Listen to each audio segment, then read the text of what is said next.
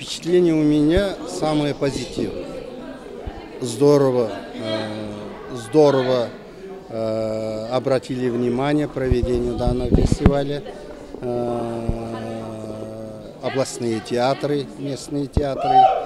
Вообще-то Шымкент является после Алматы вторым по численности театров. В Алмате 9 театров, а здесь 8. И здесь намечается открытие театра танца. Тогда уже будет наравне Алматой. Уже по количеству театров, по 9 театров и в Алмате, в Шымкенте. Разве не приятно нам? Это есть рост, это есть эволюция театрального искусства Казахстана. А впечатление, еще раз повторяю, очень положительные. Подготовка, э, без одной накладки, организационная сторона и творческая сторона. Просто коллектив, все они выявили, на что они способны. Это меня радует. Ну, некоторые это дело таланта. Кто-то более талантлив, кто-то менее талантлив. Но э, все-таки в конечном счете является это праздником э, всех искусств. И здесь, и, и здесь танцы, и музыка, и балет, и оркестр, и речь, культура речи. Все предусмотрены э, областными учреждениями искусств. Поэтому этот э, фестиваль, э, безусловно, оставит свой след в жизни не только в области, вообще республики. Шербек Агай, скажите, пожалуйста, ну вот э, Союз развалился, да, и вот много-много лет, ну можно сказать даже где-то десятилетия, да, театры вообще находились в упадке. Вы правы, вы правы. Завалилось все, потому что, ну, как говорят, люди хотели хлеба и зрелищ, причем зрелищ самых таких вот буквальном смысле этого слова, да, бои без правил, боевики, низкопробные, да, угу. криминальные программы, вот такой вот такой. Вот э, уже, наверное, больше 10 лет театры поднимаются. Совершенно верно. Вот а, вы считаете, мы наверстали упущенное время? А, Все-таки, знаете, в начале 90-х годов некоторые театры просто были оставлены на волю судьбы. Могу я прямо сказать, это Атраусский, Семипалатинский театры. Все артисты пошли на базар, оставили в покое искусства, и театры просто без работы закрылись прямо можно сказать. Потому что тогда что заработной платы не было, людям нечего было есть, понимаете, не то, что там искусство, а вообще как жить каждый день, чем надо питаться, это было проблема, правильно же ведь? А сейчас все-таки мы э, наверстали, упущенные наверстали, я могу это смело сказать. Это чем можно э, доказать? Это открытие во всех наших некоторых областях театр профессиональный. Э, в годы э, суверенности э, открыто где-то 17 театров. Это только может оказаться у нас в Казахстане. А некоторые, допустим, в соседнем Узбекистане, Самаркандский оперный театр закрылся.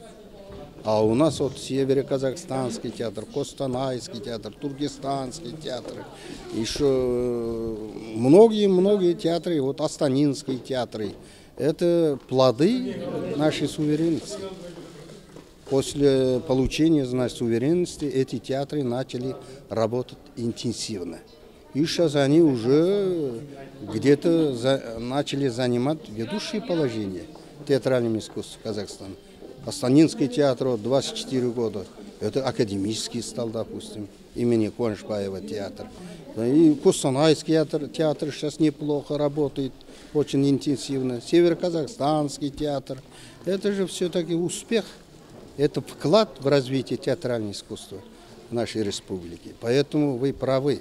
Все-таки наверстали упущенные наши театральные коллективы. А теперь я вам, может быть, некорректный вопрос задам, но задавать его уже можно. Можно. А, вы можно. посмотрели все спектакли абсолютно, да, да, да, всех театров. И вот галочку напротив какого-то любимчика для себя лично поставили? Да, вот я прямо скажу, русский театр, я сейчас говорил публично со сцены, они поняли замысл казахского автора, классика казахской литературы Гавита Мусрепова через пьесу «Козгурпеш Баянслу». Очень обаятельный спектакль, очень грамотный спектакль, чистый, без шумов, гамма. Просто воспринимается спектакль, понимаете? Сценографические решения очень уместные. с режиссером они находили какой-то единый подход к раскрытию внутреннего содержания спектакля. И актерские работы я отметил. Это Вербицкий Игорь Владимирович Карабая играет. Он же как режиссер, как актер на хорошем счету в республике. Все-таки он тащит весь спектакль. И это Джантыка играл. Пилипченко или Петриченко. Петриченко. Всех Тоже запомнить Петриченко, трудно, вы да. извините. Тоже очень такой пластичный, динамичный, действенный актер. Он по-своему решает судьбу Жантыха. Это один из удачных постановок именно на сцене русских театров республики. Я многих, многих хозгруппешев я видел на сцене русских театров. В Караганде, в Северо-Казахстанском театре, еще в других театрах. А ваш театр, это, вернее, э, Южно-Казахстанского театра, русский, все-таки э, они достигли, э, что они хотели, какие задачи стояли перед автором, перед режиссурой, перед актерским коллективом. Они все-таки освоили классику на своем уровне профессиональном. А вот вы как считаете? И, ну, не буду вас задерживать. В общем-то, хотелось бы, наверное, я так думаю, нашим телезрителям будет приятно услышать пожелания. Такого желаю- человека. Желаю удачи. Я сам из Южного Казахстана.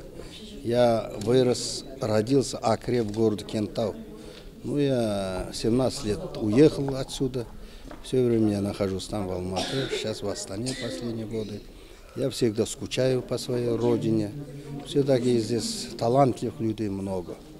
Кого только нет из здоровитых людей здесь. Знаменитые фило- э, ученые, музыканты, режиссеры, актеры. Талантами богат этот край. Я желаю всем больших творческих успехов и самое главное – здоровья.